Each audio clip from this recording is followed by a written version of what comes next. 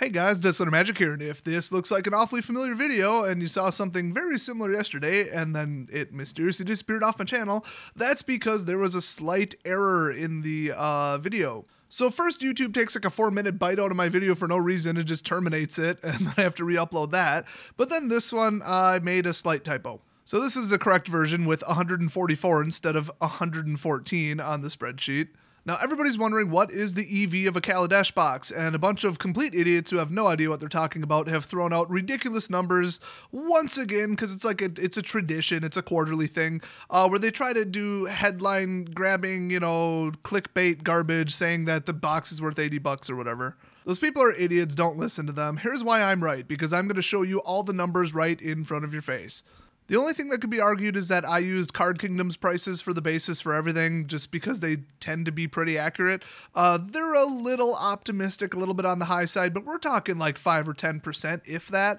I mean, on day one, they tend to be less than 10% above even eBay. So historically, they've been pretty accurate. Now, obviously, these are then uh, pre order prices because the set doesn't come out for two days, uh, but I put them all on a spreadsheet. So here's all the math right here. Let's break it down. We've got the mythics. There's 15 of them. There's all the prices. Then we got the rares. There's most of them. Uh, they run off the page, obviously.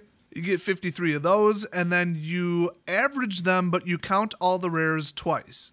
That's because for every mythic printed, there are two of each individual rare printed. So that makes it so that the mythics are double the rarity of a rare individually, but then as a whole, it's still 1 to 8.2 as the ratio of prevalence.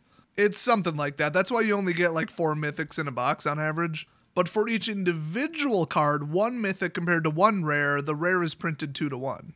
But trust me, that's the correct way to do the average. So the rare slot average, be it a mythic or a rare and adjusted for, for rarity, um, is $3.05. And so you multiply it by 36, you're already at 109.78. You've already broken the typical sale price of 100 or 105. Now let's keep going. We got the masterpiece slash invention. So they're called masterpiece cards, but in this particular block, they're going to be called inventions. There's all the prices right there. And uh, you can see they're kind of, you know, a pretty good spectrum. Um, the average price is then $85.67, so pretty good overall. On the bottom end, I wouldn't even call the $40 cards a, a bomb. I mean, $40 is insane. So that's the value of one masterpiece, but then to get the uh, added value to one given pack, you have to multiply it by the probability of pulling it. That's under the approximate pull chance uh, field, and it's about 0.694 repeating percent. So, you know, not very good. And of course, I got the number as 1 divided by 144. By the way, that's where the glitch was in my last video. It was damn close though, but anyway, that means that the effective addition to the EV of one pack just from the masterpiece cards is 59 cents, which that is pretty significant. I mean, considering that just the rare alone makes it just over $3. So about what, one sixth, one seventh of the value so far is from masterpieces. That's pretty significant, and that's about where I thought it would be. Next up, we're going to look at the foils, but I only count foil rares and foil mythics, and that's it. Uh, foil uncommons, I'm sure there's some that are worth like $8, but whatever. And the commons and uncommons themselves, I completely ignore. So um, the estimated value of the rare slot itself, so mythics and rares, once again, weighted, you know, two to one rares against mythics. Um, I basically just took it and multiplied it by 1.4 because that seems to be a conservative estimate of the general price increase of a foil over a non foil. Now, some of them go 2 to 1 and some of them go 1.2 to 1. So 1.4 seems a little conservative, if anything. And you do want to be conservative. You don't want to say, oh, I'm going to make all this money, and then you don't. So the average foil, rare, or mythic is $4.27, you know, just average value. Uh, and then you have to adjust that to see what that adds to your actual per pack EV because that's the base unit we're using. So you take your $4.27 and you multiply it by uh, 15 plus 53, which is the number of mythics plus the number of rares, divided by 264, which is the number that you can open in the set from boosters. So just the rares, just the mythics. And then multiply that or divide that number by four because only one in four boosters have a foil in it at all. So you multiply it all out and get 27 cents. That is the boost in the pack EV. So you can see the masterpiece cards, even though they're ultra rare, they're so expensive that they're worth more in the pack in general than a foil mythic or foil rare. Makes sense because, you know, the like I said, the average foil mythic or rare is $4.27 and the average masterpiece is like $85. So you add up all three of the EVs the, the rare slot, the masterpiece potential, and the foil mythic and rare prevalence or whatever, and uh, you get $3.92 per booster. Multiply it by 36, so you get one box, and it's 141.10. Now, the funny thing is, the MSRP on a booster pack is $3.99. So the MSRP on a box is like 143 something, whatever. So technically, the 141.10 is $2.54 short. So I don't know who would buy a box for like 143 whatever. It's actual stated MSRP. That's crazy. But if you did, you would lose $2.54. Although, if you consider that like every common is worth 25 cents and every land is worth 5 cents and whatever, you'd be way above it. So now obviously it's worth mentioning that this doesn't work on the small scale because of the variance of pulling a masterpiece or not pulling one. Um, you could have like four boxes and still maybe miss one. So let's say I ordered 20 cases. So that's times six because it's six boxes is 120 boxes times 36, which is 4,320 total boosters. Divide that by 144 boosters, which, you know, 1 in 144 is the sort of estimated rarity of the masterpieces. Uh, you get 30. So I would be expected to open 30 ex- or expeditions. I'm going way back. 30 masterpieces uh, if I ordered that many cases, which I absolutely did not. Now, if you open 100 cases, you're going to get 150 uh, masterpieces plus or minus a little bit. Now, I will say that uh, you won't pull 8 and you won't pull 80. You're going to pull 30 if you open 20 cases. I mean, it'll be plus or minus maybe like 3. I'm not sure on the exact reasonable variance. It's all that Sigma crap that I never bothered to learn.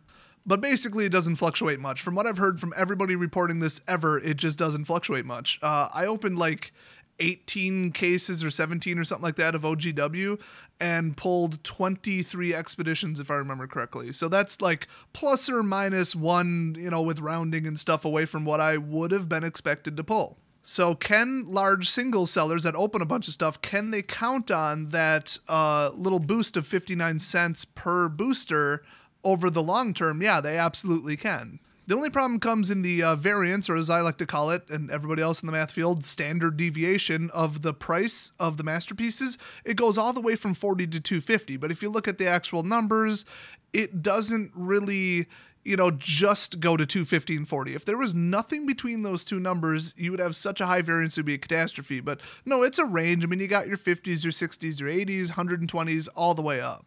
So that definitely helps kill the variance a little bit. But, um, you know, if you're opening 30 masterpieces and there are only 30 masterpieces, that's like you, would be expected to pull, I think, one of each or something with probability. I'm not 100% sure about that. But that's like a variance of plus or minus one, which would be like zero. It's the same as foiled Tarmogoyfs. I mean, they were responsible for like 20 something dollars of the entire estimated value of a Modern Masters 2 box, the whole box. So if you pulled one, great. If you didn't, you just lost that amount effectively per box. So everybody's saying it's all doom and gloom. Oh, a box is worth 80 something dollars. It's just sensationalist nonsense. I mean, they just throw it out there. Oh, we did the calculations. Trust us. And this is what we came up with. Well, they live in fantasy land where they just want to get article views and video views. Uh, back in reality, where I live, here's the numbers. I mean, there they are. Can't really refute them. They're right in front of your face. So let's say Card Kingdom was 10% high. Okay, 141.10 per box multiplied by 0.9, 126.99 a box. That's still not bad. I mean, it's not good, but it's not bad. So yeah, I think Kaladesh will be about the same as any other set. I mean, the the average rare price went down the toilet because masterpieces are responsible for a higher percentage of the booster value. It's quite simple. I don't think people are going to over open because they've already had this happen twice. There was two sets with expeditions. It was recently. People have given up on their chance of opening them, and if anything, it'll make people open five or ten percent more than they normally would, just as like a psychological thing. Now, I should say that the return on a box for BFZ looked like it was, I think it was like $185 or something. Like it was absurd because people were like, "Oh yeah, rares mythics are good. They're powerful. Okay, cool. People are gonna buy them. Yay!" And then on top of that, expeditions and expeditions were like an extra, you know, big fraction of a dollar. So every singles seller on planet Earth opened the hell out of that set because it was guaranteed money, and then the mythics and rares uh, fell really quickly because of supply. Also, you had everybody, single sellers, players, longtime players, not longtime players, everybody over opened it to get to the full art lands.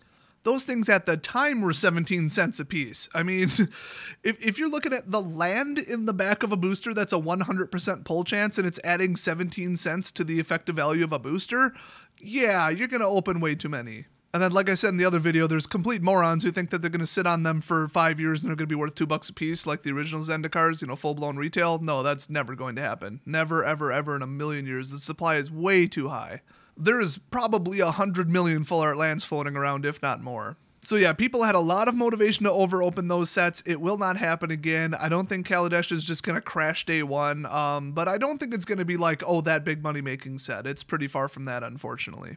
So what does this mean for you? Well, you're not losing money if you paid 105 for the box. So that's good news. That's about all you can draw from this unless you plan on opening a bunch of cases. I will say though that uh, as of today, which my shipment is showing up, let's see, Thursday, and it's currently Tuesday. I don't know how much product I'm getting. Welcome to the world of Wizards of the Coast. I was allocated 60 fat packs and my distributor had to cut it down to 12, so that sucks because there wasn't enough to go around because once again, Wizards didn't print enough. So let me outline what this means in a, a slightly different, more understandable analogy. Okay, I open a hot dog stand and I'm doing 500 bucks worth of sales per day because I spent money on coupons and I track the return from the marketing, you know, money I spent and oh, it's like a 30% overall return. Then you've got recurring customers because my products are good and you know, and I got my staff calculations in there and the cost of the dogs and everything. Everything looks good. The outlook's good. I'm making overall a 50% profit margin or whatever. So $500 profit per day after spending, you know, in expenses and rent and licensing and staff, you know, a thousand a day. So 1500 gross a day, no problem. So I put all that time and effort establishing a business, getting a customer base and all that. And then one day I just decide ah, I'm not going to sell any hot dogs, not going to stock it. Oh well, my customers want hot dogs, but I'm not going to produce any hot dogs today. So my marketing ROI drops to zero, my gross drops to zero, my net drops to uh, negative a thousand my customers show up and I tell them, sorry, we don't have anything for you, go away. And then they get pissed off and probably don't return. So that's permanent loss of money. Take a hit on the goodwill rating of your business, which could have monetary value if you're a corporation like to BS your stockholders. That's right, it's a corporately held hot dog stand.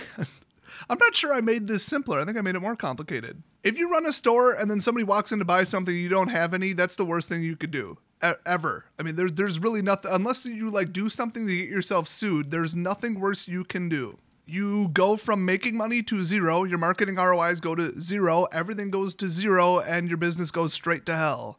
So, back in the wonderful world of Wizards of the Coast, where they take a random guess at how much they should print, tell the distributors how much they're getting, not ask them how much to print, and then the distributors sometimes get stuck with product but almost always get shorted on product, then there's not enough to go around and every store in the world is pissed. Uh, that's the way they do business, apparently.